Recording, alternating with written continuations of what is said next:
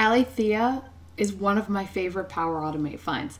First of all, Aletheia is part of ancient Greek philosophy. It's about truth or discourse, which is kind of a fun aside that has nothing to do with this connector. I just really like the name.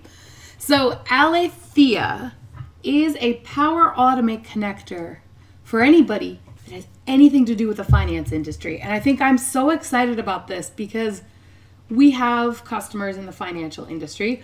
My husband and I also have a passion for finance and financial services. So this one is super cool. Um, you can access APIs for stock data, insider trading deals, earnings analysis, and SEC filings. So I got a ton of use cases here. Again, I just got excited about this one. Kick off a flow when a new filing is filed with the SEC or take a number of actions on any of the financial data that's included. So you've got a trigger and 11 actions to choose from. Now, let's take a moment to talk about how amazing their documentation is for you, for me, for anyone interested in using this great connector. If you click on Microsoft documentation, you'll get the standard Microsoft documentation. But if you come over to the website, and I'm also going to click on vendor documentation because I want to show you both. Look at the vendor documentation. Tutorials for Power Apps and Power Automate, Azure Logic Apps and Dynamics 365. Oh my goodness.